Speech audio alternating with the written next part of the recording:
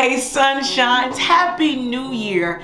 After a holiday hiatus, I am so glad to be back with you to tell you about our weekly goings on. As you know, on Tuesdays we have Help Avery finish this damn album. Tomorrow it's going to be special because I'm doing a song uh, by my producer, uh, Danny D and I'm doing the lead vocals tomorrow night. And at the, at the end of the session, we'll do a Q&A and you can ask Dana nerdy questions, all that techie stuff, or you can just ask me how to not make spit noises when I'm recording. On Thursday, we'll do the tiny keyboard talk. Our topic is gonna be an intention setting and being intentional about what we want. A lot of exciting stuff that I want to jam and cram into this video, but I can't.